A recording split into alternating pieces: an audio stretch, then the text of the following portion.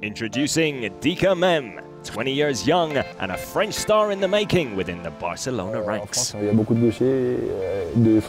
Yes, in France there are lots of players from my generation. I made the decision to play handball, but there was the federation and the trainers who were doing a good job selecting the players. There are plenty of arenas where we are playing, and they are the ones who select the people. Then, with daily hard work, you can become a top player.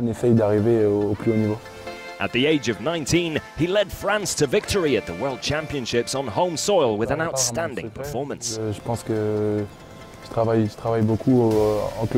there is no secret. Only hard work and training with the club every day will bring you to the top. I have no pressure at all, and if there is some pressure, it's always a positive. Euh, ou alors j'ai une pression, mais c'est une pression positive.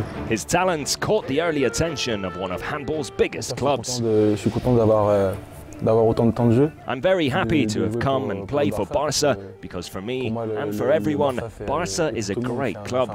The best play here and I'm lucky to have a lot of minutes, which makes me very happy. De, de faire partie de cette équipe et en même temps jouer toutes ces minutes. Euh, et marquer tous ces, tous ces buts avec ce, ce maillot, ça me, ça me fait énormément plaisir.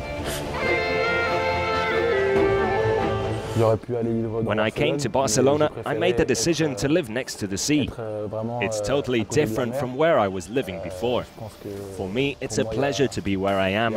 I never imagined being here. I want to enjoy every moment, and that is what is most important. Donc euh, voilà, pour moi, c'est un plaisir de, venir dans, ce genre d'endroit parce que je ne l'imaginais pas auparavant.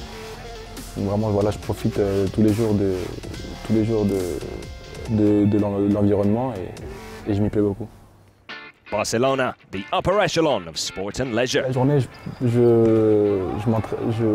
My day starts with training and afterwards I play PlayStation, take a nap and try to visit as much as I can because I don't know many places yet.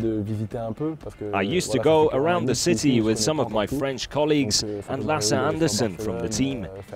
I don't really have a specific routine and I try to make sure I don't stay at home for too long. Euh, ouais, j'ai pas, j'ai pas une routine particulière. Je change, je change beaucoup. Euh, il y a des jours où je peux sortir, il y a des jours où je reste euh, chez moi.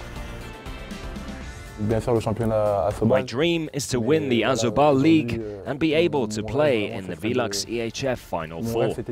I already played it last season with Barca, but this year I want to win it. Donc vraiment, mon objectif c'est de gagner la Ligue des Champions. Dika Mem, focused, determined, and on his way to the very top.